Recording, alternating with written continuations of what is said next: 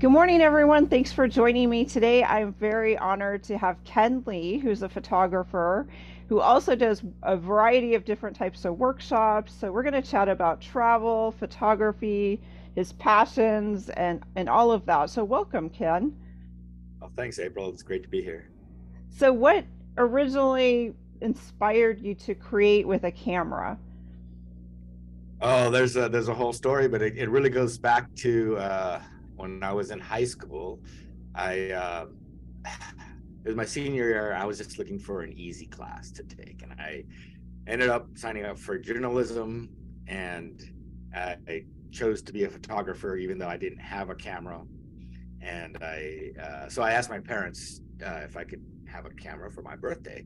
It was coming up, and they said yes. And then we bought this Canon AE1 program and uh, this book called The Joy of Photography. And it was really more the book than the camera that I made me fall in love with photography. I, I started flipping through it and I never looked at pictures this way before. I, I, like these pictures were, you know, some of the great, you know, from the masters and, and they were uh, very moving. And I, and, you know, before, until then it was photography for me uh, the idea of photography was where you would just um, you know uh, record moments and you know family gatherings and birthdays and things like that and and these these pictures just really you know inspired me hit me and uh, that's really where i fell in love with it um, later and later on I, I did end up going to photography school a place called brooks institute and then um, uh, did a number of i did some commercial work and ended up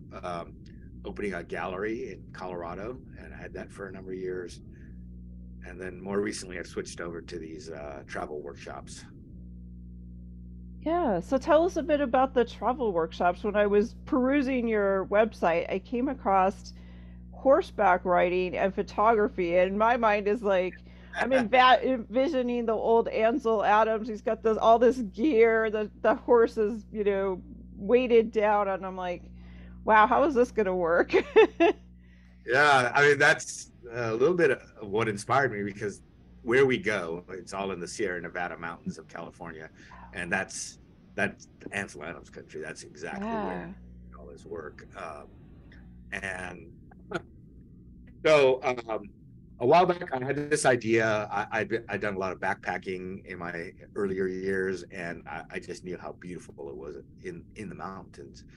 But it also was like it's torture, even if you're in young and good shape. Okay, good. to, to, to, carry all your stuff on your back, you know, over some yeah. mountain path, and it's literally torture. And uh, and a lot of my my clients are older, and uh, I just knew that that would never work. So I started thinking about uh, uh, horse packing outfits, and I, I contacted a few, and you know, eventually made contact with one, and that was back in 2015. Wow. And we've done, oh God, maybe you're close to 30 trips at this point. Um, at this point, I've got four different um, workshops that are uh, horseback based, but photography focused, I guess would be the best way to say it. Is uh, we use the horses to get to where we need to get to, and and it's also you know just a big part of the experience itself. But then um, you know, the rest of the time we're focused on on making images.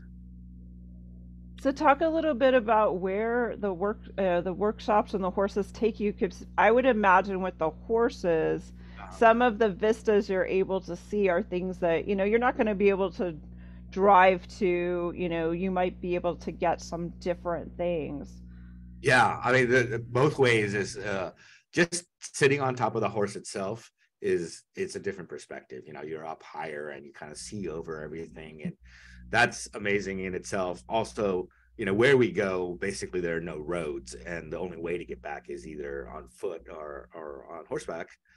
And so i've got um, the next trip is that's coming up is in uh, june and it's our wild mustangs of the adobe valley trip and that's really one of my favorites because I, I, that's that was the very first workshop I did on horseback.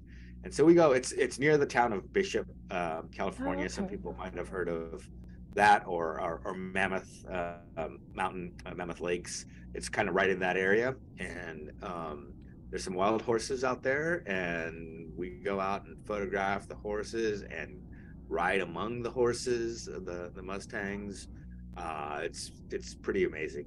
Uh, so wow. it, it's I call it wild horses and mountain landscapes. So there's a landscape uh, photography component of it, but really the focus is on on these wild horses. And then um, I've got a couple of others that are, and this this is more in the valley in, in the valley floor between the Sierra Nevada and the White Mountains. And then we have a couple trips that we do where we're actually in the middle of the, the Sierra Nevada, and you know this is it's it's literally you know Sierra Club calendar um, yeah. locations. It's it's exactly that, and it's you know it's it's freaking beautiful back there. It's yeah you know, yeah. you know like I mean it's like Yosemite without people. And right. uh, yeah. And so we take uh, horses and mules and they bring us in we set up camp um, they they take the horses down the valley a little bit to graze and then we'll do day rides every day. So usually you know we get we get up you know right by this beautiful mountain lake. We we do some um, early morning photography and you know then have some breakfast maybe some kind of little lecture kind of thing. And then they'll bring the horses and they'll go out explore for the day and then come back. It's uh, it's pretty awesome Oh, that's amazing. So you have people cook for you, you have people set up camp for you. Yep. So um, yeah, they, they they provide tents. It, it is camping, you know, so um, it is, you know, that's the first uh, question people ask, like, you know, about bathrooms and showers. And like, mm, I say, imagine a pop up porta potty with the wooden toilet inside and no showers. Well, actually, on, on the Mustangs one, we do actually have they, they've rigged up something that uh, it works, and it's it's actually hot water, uh, hot shower oh, there. really? Yeah, yeah. Um, but but the uh, the other one, no, and um, yeah, and so it's it's it's it's you know it's you've got, that's that's the other thing that is a great subject uh, on these workshops is the the uh, the cooks and the wranglers and the you know the the packers. These guys are are real cowboys, and um, you know, and and cowgirls. Are there are a lot of women that do this, and and you know, they just make awesome um, subjects for. I was just gonna say that my mind is just envisioning them, you know, over this old camp stove and the uh-huh. steam and smoke, and yeah. So there's actually a multitude of types of subject matter for your eye and yeah, I mean, uh, depending on which trip you go on. So the, the, the Mustangs trip, obviously, the focus is on the horses, and then the the other uh, Sierra trips, they are more, you know, focused on landscape, and and also night photography, and then uh, and then we also do, you know, some like I said, uh, what I call Western lifestyle, you know, cowboys and cowgirls, and you know, horses and all of that, and yeah, it there's no you know shortage of material out there. Yeah, so you've just really fallen in love with the whole being on the horse, being out there. It's not, you know, I have, and I, I found that like you know a lot, a lot of people really like this idea. So you know we've been selling out these trips you know for years now, and um, and so we keep expanding because people you know keep you know wanting to to come. So we have a, a this year we actually had a, a spring uh, wildflowers uh, oh. one that we oh. had to cancel because they just got too much snow there you know the, i was just yeah i was just thinking that yeah yeah so we've uh we switched that out for another uh, mustangs workshop but then normally we have a spring one uh summer so it's like kind of august time frame and then uh, a fall colors ride that we do in, in late october and then and then and the Mustangs one also that's in the spring, which is it, it's beautiful with the snow-capped mountains and you know, you've got uh, newborn foals and you know oh yeah. it's, nice herd out there. So it's it's it's you know you got the stallions all rearing up and fighting and all this stuff. It's just you know amazing the uh, the scene. So how many people do you take on these workshops it, it depends. Uh, so the most is 12, which is the Mustangs uh, shop because it just works out that that's a good number. Yeah. Group. Uh, some of the other ones are limited by like uh, how many people you can have by permit. Uh, in, mm. in, because it's a uh, what do you call it? It's a It's uh, the BLM property, isn't it? it's uh it's wilderness. It's national forest uh, wil- wilderness. So you know there's um, there's limits on how many people. I think we have eleven on that one. Um, and usually about that number. And then some of my other workshops, it it, it just varies. You know, it could be as few as as three or four, and then Oh, nice. Yeah. maybe twelve is probably about as many as I ever do. Would you say that um, you need to be an accomplished photographer, or is it you can be a beginner on this? Talk a little bit about what kind of skills you need to have. Sure. There, there's no uh, particular uh, level of photography a photographer that you have to be or, or level of experience that you need to have. So my, my is called Art of Seeing, and I chose that name because um, what I, you know, my personal uh, philosophy or approach to teaching photography is that there's there's two sides. There's really two different you know halves of photography if you, if you will. And one is the, the the craft and technical side. And it's you know that's all the f stops and shutter speeds and lenses and and photoshop and all that stuff. And it's super important and super necessary. And um, especially in in recent years there have been you know huge advances in this area. And and and you know the equipment is is phenomenal Yeah. but really ultimately it's only half the equation the other half is you know what you point the camera at right right. and yeah. yeah and and learning to recognize what's going to translate uh, well into a photograph and then and then you know kind of trying to be able to produce your your vision you know to create that that's the other side that is you know everybody acknowledges but nobody really you know teaches in a in a in a methodical way or you know you know in a in a practical way. You know it's more like it's either like rule of thirds or um you know or like you know just get in touch with your feelings or something like that. And and and you know i don't i don't think that's it. You know i think there's a lot more to it. I think it can be approached a lot more uh, systematically and practically and therefore i think there's something uh you know to be gained regardless of where you are in your you know photographic journey um you know if you're if you're going to sign up for a wildlife uh, workshop you know it, it does help to have a little bit of Yeah. you know, if you're opening the box right. as you pull into uh to get on the horse then you know we have a little bit of work ahead of us but uh, but there's you know there's plenty of, of youtube videos out there to to help people you know with their camera controls and stuff. And I, i'm and i'm i'm happy to do that. It's not that i don't um appreciate that half of it. Uh in fact the reason i'm so kind of passionate about this approach is because I am more of like a, a technical person by nature. Oh, okay. bit of a you know geek and and you know the the the shutter speeds and the f stop all that stuff came pretty naturally to me. It didn't you know I didn't have to struggle too much to understand that. But in the end, I realized you know my my pictures were were were technically perfect maybe, but they were perfectly boring too. Mm, And there was mhm. no uh, you know they, they didn't have any of that quality Yeah. that inspired me to become a photographer and so um you know i had to learn that that uh that this this art of seeing this you know people say it's composition but it's more than just composition. It's be able to recognize what you know what's a good photo and to see light and all these kind of things.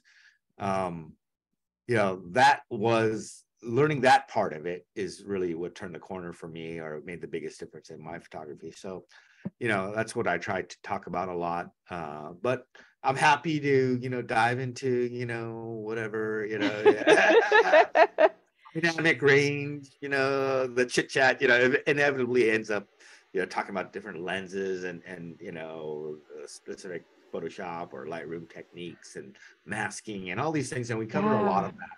But uh but i also always tried to you know bring in hey you know the first thing is you got to have a you got to have something to take a, a picture of right, and, right. and like a- as smart as cameras are today you know there's not any that will tell you you know no a little to the left dummy you know Yeah, yeah, exactly. you know just saying like no why you know why are you taking that picture that's what they should be asking you know but uh maybe you know with uh, AI and all that that's coming around, maybe you know that maybe the next camera will tell me, you know, a little bit a little to the left, dummy.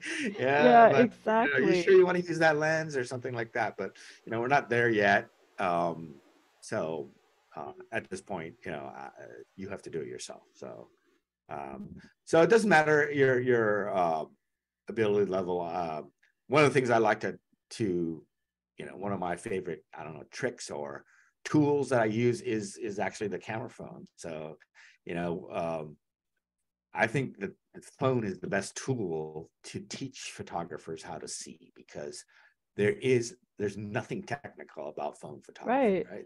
You know, you turn right. on the app and you know you point and shoot literally, so you can't hide behind the technical, right? You can't right. sit there and go, okay, well this camera this picture might not be great, but well, I'm going to do HDR and focus stacking, you know, oh, you know, whatever, blah blah blah, and long exposures, you know, and, and you know, think that you're going to produce something later. Um, you know, it's really you and the image, and you know, if you can learn to take good pictures with your phone camera, then then you know that is really you know it's really based on learning how to see and it's it's what you put in the frame so uh, I encourage people to use phones and bring uh, phone cameras, you know, on our workshops. Uh, it's a great scouting tool.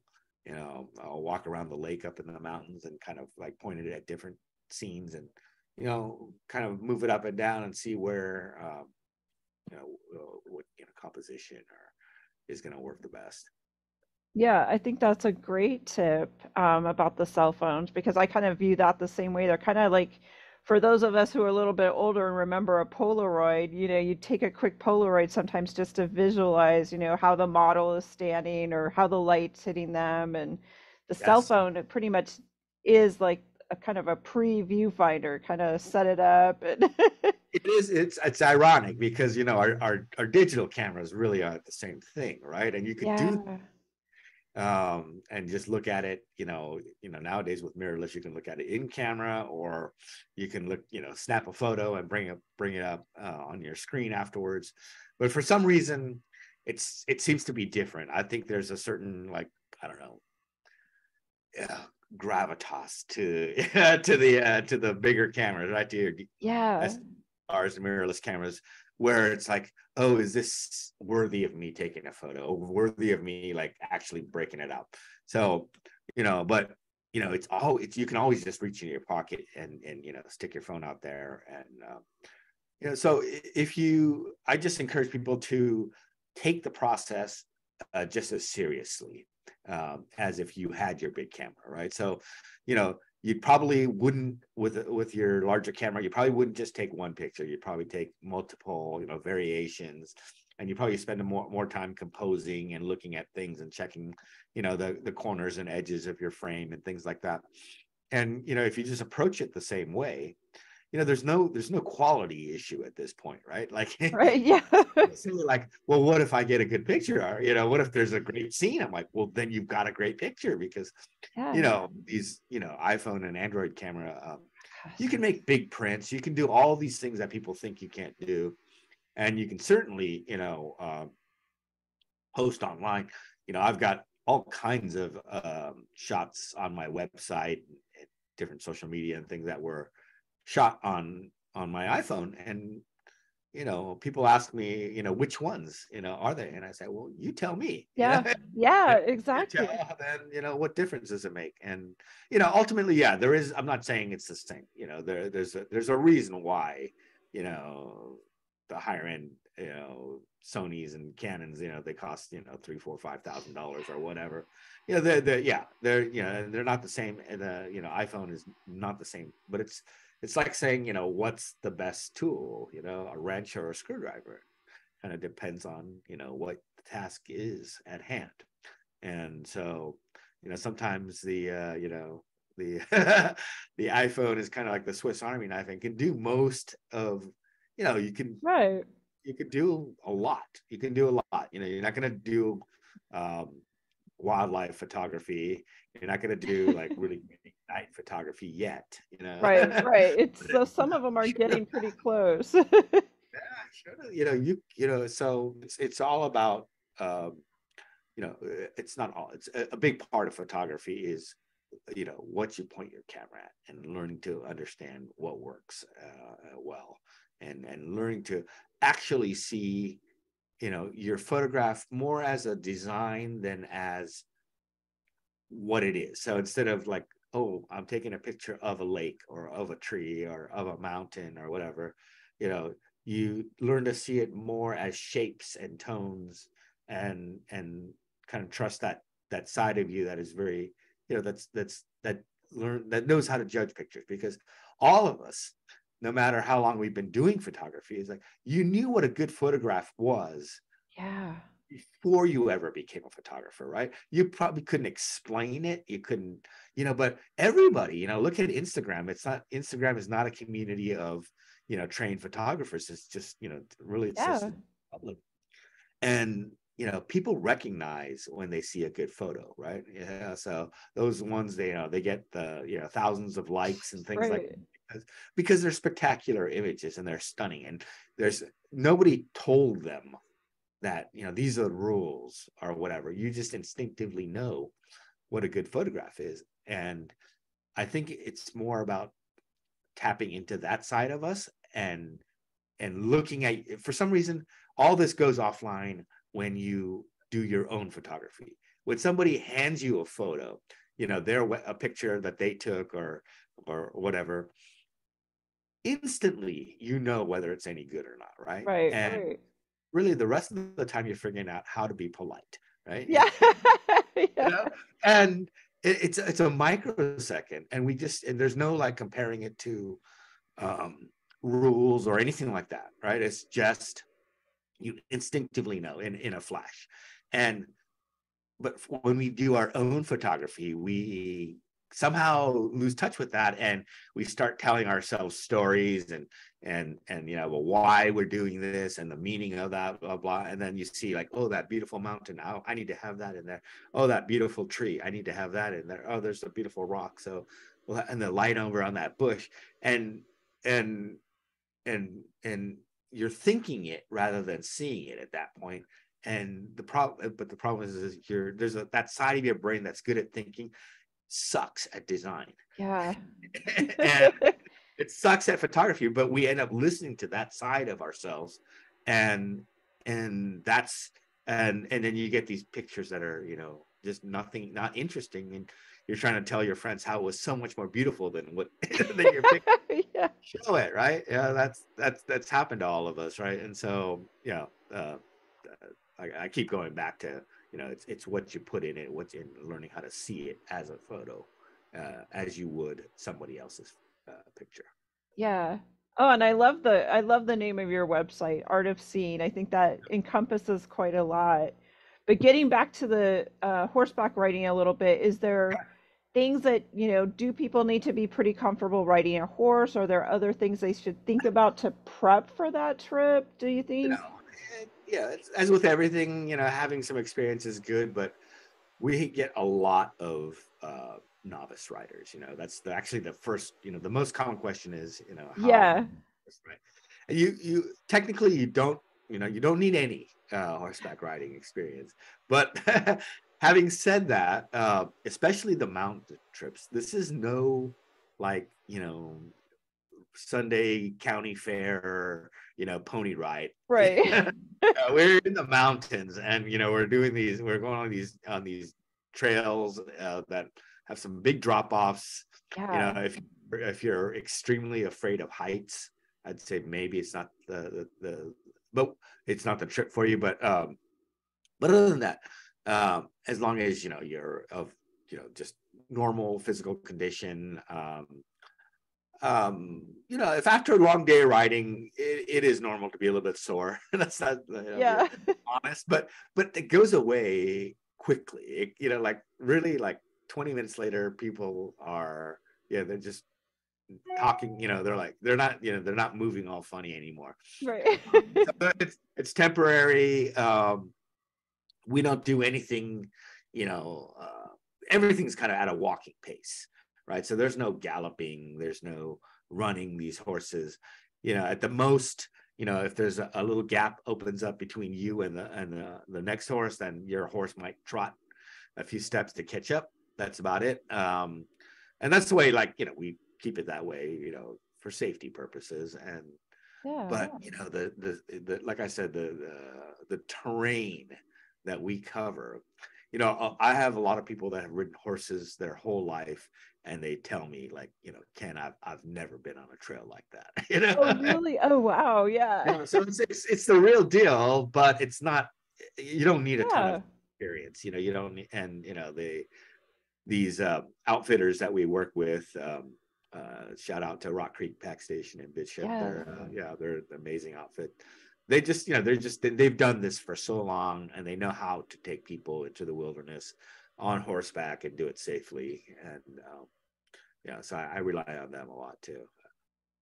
And as far as packing, I'm sure there's some tips for people on packing because nobody should shy, nobody should show up with like, you know, Well, okay, you can leave the hair dryer behind. um, yeah. you know uh certain so you have to pack light uh, the mustangs trip it's not such a weight critical thing you know there's a, a limit but there's a lot of flexibility uh the other uh, mountain trips there we have a 35 pound uh what's called dunnage which is all your luggage so if it's not on your body then you have 35 pounds worth of gear that you can bring that includes your camera gear And that includes your camera. I was Uh, just gonna say, well, 'cause- because for the non-photography trips it's 30 pounds so Oh. we've negotiated uh and you know there's a little little fudge you know a little room uh you know if you're like a pound over they're not gonna you know throw Yeah. or anything but uh but you know you got to be somewhere close to that 35 pounds but the, i'll tell you you know i have suggestions and then um you know rock creek has a packing list that we put out there and- nice. Okay. and um, you know, you know, it, uh, they provide uh, all the tents and stuff like that. So that doesn't include like uh, tents and things like that. Um, yeah, so um, you have to you have to be limited. But everyone, all I can say is like, you know, we've done hundreds uh, or hundreds of Yeah. have done this trip at this point, and somehow they've all managed to. You know, I, I get a lot of calls before and saying, you know, I'm I'm waiting my stuff and I just can't get there. You know, yeah. uh, and uh, you know, uh, just you know, we just kind of walk, talk them through it, and you know, get them as close as possible, and then it somehow all works out. Yeah. So what what kind of gear is in your camera bag? Because everyone always wants to know. I know in the end it Uh-huh. is it is the quality of the picture, but we all often are curious, you know, which cameras you're using Well, right now and Yeah, and I'll I'll be you know honestly, I will uh, when I started you know teaching, um, I used to be very much like it's not about the gear at all, right? Like Right. it doesn't it doesn't matter, and you know I've come to realize that's that's not true. You know, I mean like.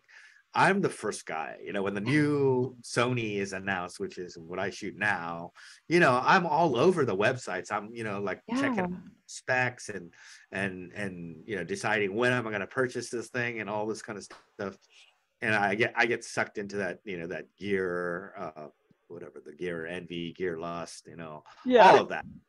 And and and you know for a lot of things it does matter you know so you know if you're doing a lot of night photography you know uh, you pay more money you get a better uh, camera in terms of noise performance Right.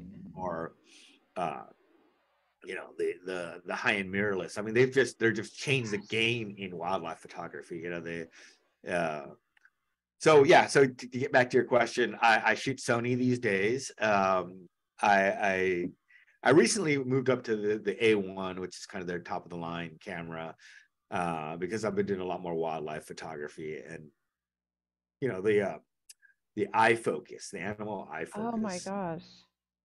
that has really uh yeah, that's changed things tr- Oh, yeah. Yeah, that's a major change. It's Yeah, yeah. amazing what these cameras, these tools can do now for us that yeah so um yeah i mean if you look inside my bag you won't find a bunch of cheap off-brand stuff you know yeah, i mean like so gear is important so i acknowledge that and and um i i, I tend to uh, i tend to favor zoom so uh, I, I, grew up, my passion early on was landscape photography in the mountains. And like I said, I would have to backpack in. So size and weight yeah. have always played a big light, a big role in what I uh, choose for my equipment. So um, even though in some cases primes, you know, maybe sharper, I don't know, you know, uh, there may yeah. be some or there be faster or whatnot. Uh, I, I, I usually carry all zooms. Uh, and I think the, the, the quality is is out is is good now. So, in what like four lenses, uh, in four lenses, I can cover from 12 millimeters out past 600 millimeters. Oh, nice, nice. Without any kind of gaps in the focal length there. You know, for like 12 to 24, um, 24, 105, 8200, and one uh, 200 to 400 or 200 to 600, um, which is the lens that made me switch over from Canon to Sony. Is like I got tired of waiting for Canon to come out yep. with their mirrorless, um, and and then they Sony came out with this amazing um, dream lens as far as wildlife for me it was that 200 and 600 so i and that's a sony lens then right yeah yeah yeah i jumped ship and went over to, to uh, Sony, and you know, it, uh, eventually, of course, you know, Canon really got into, this game, and they've got some amazing cameras now. Nikon's got amazing cameras. I, I don't think there's like one company that dominates anymore. For a while, Sony did have a yeah big uh, head start on everybody, and I still think they probably got the you know most complete lens lineup. Um, but you know, there's been you know there. I still feel like I can get around a Canon menu better than I can a Sony one. Any any everything that you hear bad about the Sony menus is true for the most part. yeah, yeah. Uh, they they've changed them recently, and it's gotten a lot better. But like the first Sony camera I bought, I, I, couldn't remember. I could never figure out where format was, you know. And I would have to like every time I wanted to format a card, I'd have to spend ten minutes you know, scrolling through menu after menu to figure it out. I ended up putting it into a, a shortcut because right.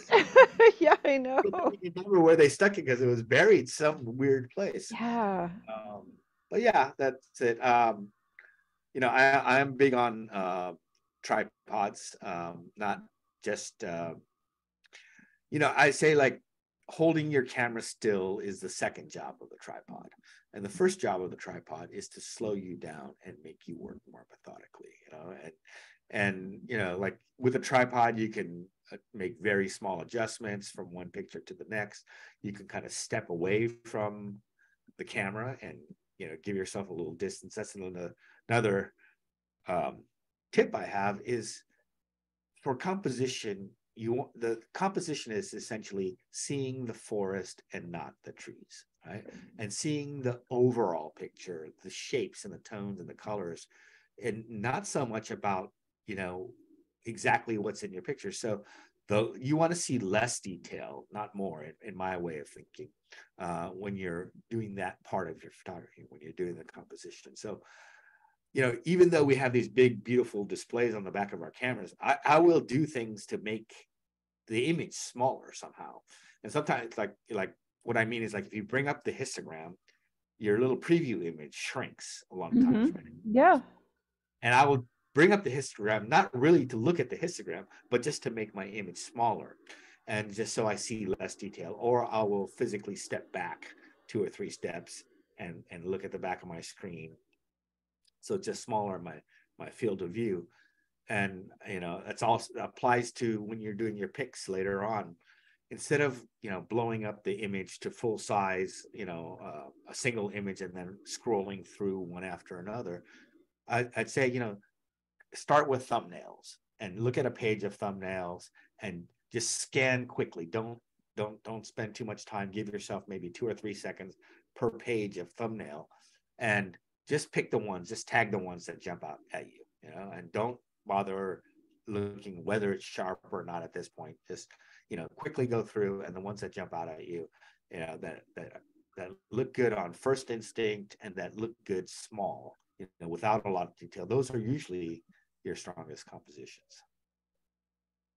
That's really those are some great tips.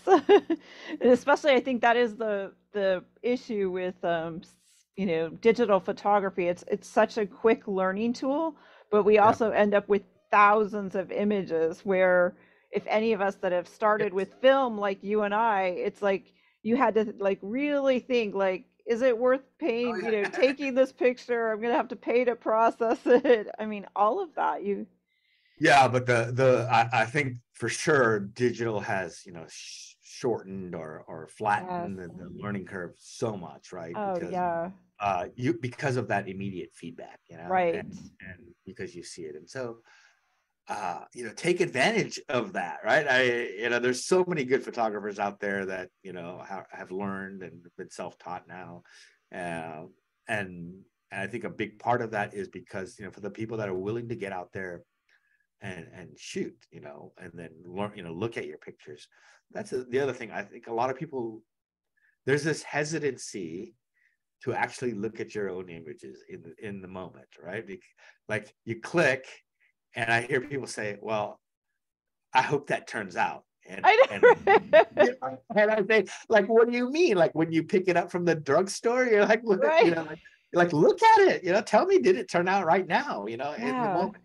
And and you know, like, what do you mean? Like, how maybe after post processing? I, I guess is is one way of thinking at it, but but really, it's you know, it's right there, and and people, there's I don't know, there's something. Um, inside of us that makes you kind of not want to like look at it. You know, people look at their pictures like, oh, did it turn out like, is it the right brightness? You know, is it sharp? Right. Those right. they look at technical aspects, but they don't really look at their picture aesthetically or compositionally. You know, like, is this a good picture? You know, uh, and they they think for some reason they put that decision off to a later time when I sit down in front of my computer. I'm like, no, no, no.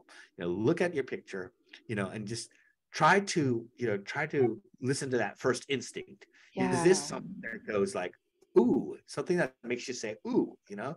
Right. They're like, ooh, I'm excited about this. I want to, you know, I can't wait to get this back on the computer kind of thing. Right. If you don't have that, chances are that it's not.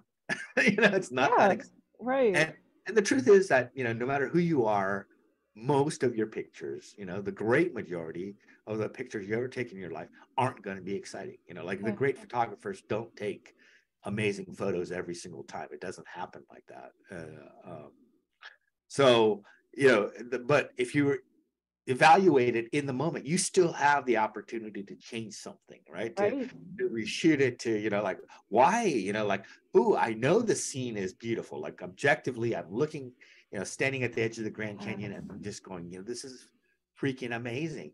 And like does my picture reflect that? And if it doesn't then why not? And you know you know what should i do different? You know try you know it's like what is it that's not you know getting it there but i think too often people just kind of click you know, maybe they might check sharpness and then they walk away. You know, so. Yeah. Do you have any tips for people that are maybe not sure that they're ready to get a, a larger camera? You know, they've been taking a lot of cell phone photos and they have this curiosity what yeah, kind of, I, I to kind of push say, them to the next level and yeah, i mean first you know i would say keep shooting with your phone right? Because that's an amazing camera. So in my way of thinking, you know, my iPhone covers something like the you know the 35 millimeter equivalent of like 12 millimeters to you know yeah. 90 millimeters or something like that. So if there's a picture that i i would use a lens in that focal length range i i, I have no uh com, you know no hesitation to go ahead and just take that with with my iPhone, you know, um, and I don't feel like I'm, you know, sacrificing much. Yeah.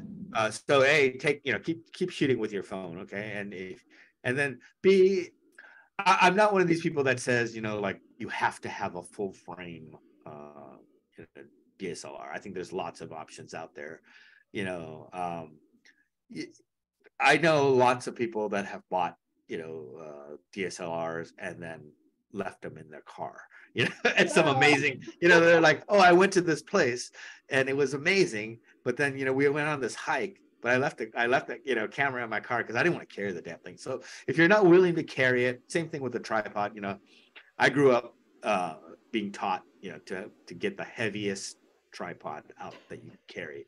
And but if you're if you're not going to carry it, then it does you no good. So, you know, I'm, I'm a little bit more practical that way. Uh, I think the uh, mirrorless, I mean the uh, Micro Four Thirds, is is a great platform. I think there's there's brands like Fuji and Olympus that are just doing like amazing, uh, really cool things with their cameras, like things that you don't see, uh, you know, even on on some of the SLRs uh, or the bigger brands. Um, yeah, and and then you know, I tell people the the the cheapest entry level you know most basic you know canon rebel or whatever the you know the entry level camera on each of these uh, manufacturer lines is would run circles around the camera that i used when i had my gallery and was selling prints Isn't that amazing? uh, so i mean you know you can't go wrong really you know you know yeah you can't go wrong you know it's it's it's more about uh budget right? You know, and and what you know, the type of photography you want to do and what you're willing to carry. You know, if you have, if you're a skier and you get out to like amazing backcountry, you know, you might want to have a camera with you, but you're, you know, you you're already carrying skis. yeah. and, and everything else, you know, for skiing, you know, so or if you're you know to fishing or whatever you know so you you know maybe the big you know, DSLR or full frame camera is not the right choice because it's just too bulky. You know, it's like too much stuff to carry. You know, um, and even some of these kind of uh, what they call bridge cameras, right? They're they're like a between a point and shoot and an SLR. Yeah. They're they're amazing too. So yeah, think about you know obviously budget, then you know what you're going to use it for, what you're willing to do, what you're willing to carry, you know, and um, and then you know go from there. So what's next for you, Ken? Because uh, and what kind of keeps you motivated to keep going back to some of these locations? Because for you, they're just they're spectacular. I mean, like you know, I don't get tired of going out into the Sierras or out photographing wild horses. It's you know, it does become less. You know, I mean, after you've done it a bunch of times, it's just like becomes familiar, right? Right. And, yeah, but and I I kind of you know, almost go through the motions until I'm actually on top of the horse, and then I'm like, oh my god! And now I remember why I, I you know, I do this stuff. Um, and I love uh, discovering, you know, new travel is a passion. I have a theory that, you know, a lot of us fall in love with traveling. It, it's not so much because of the beauty of one particular location or or another is is that when you travel, when you see a place for the first time, you really see, right? Yes. You, your mind has not had the time to uh, label and categorize everything that you see. So you could live in the most beautiful place in the world, um, but uh, if you know you stop seeing it, you know, and your friend, you know, may come over to visit, and and you know they're taking pictures, you know, of your mailbox or the the paint peeling on your neighbor's house right. or something because they're seeing all this stuff and you've stopped seeing all of it. And when you travel you uh, you see for a little bit you know the first time at least you see everything and you notice the colors and the textures and you know all the things that are different from what and, and then after a while that, that becomes familiar and your mind starts categorizing and labeling and you stop seeing things so clearly and that that state of mind um, I think is inherently pleasurable. It's it's you know that that being in that you know people call it being in the zone or being right. um, you know what are the there's all kinds of you know being in the moment whatever. I think they're all just different you know terms for the same thing. It's that side of us that is you know it's the ideas and the vision and the, and the seeing. It's not the words. And being there you know i think is what inspired you know cavemen to yeah. to paint on walls and why you know every society you know produces art and it's just part of who we are as humans is it's art is kind of the language of that side you know? And then words are the language of the other side you know the logical side. And and so when you travel you know you're in that moment for a bit you know and it feels oh. good and you know, no matter what, you just remember it, you know, as something fun and pleasurable and something, you know, you like doing. And so it doesn't matter so much, you know, it's not always trying to get to the next most spectacular place, you know, it's just something that's different, you know. It doesn't matter if you're going to like, you know, Fresno or or France. right, you know, it can both be like very, you know, interesting, you know, to somebody who's never been there. So but I do I do love going you know to new destinations. You know, uh, started doing Africa a few years back, and that's just uh, you know it's off the charts as far as like wildlife and that goes. yeah, that's amazing. Then very next uh, later this month, I go to Patagonia uh, for another workshop. So um, Patagonia. Oh my goodness. it's yeah, it's spectacular. That was something my uh, second time there. And, uh, you know, I, I, did a scouting trip right before the, the pandemic, and I had to cancel uh, the trip that was scheduled for that May of the of that or April of that pandemic. So finally, we're doing it now, and uh, yeah, I'm super excited about that. You know, later on, I've got trips to Brazil and uh, my Churchill polar bears trip that I do every year. Yeah, I've got a lot of. Uh, yeah, you've got a full calendar. Yeah, yeah, yeah. Which is, you know, that's it's my, you know, it's my dream. It's my been my That, dream. yeah, that is fabulous. So where can people find you?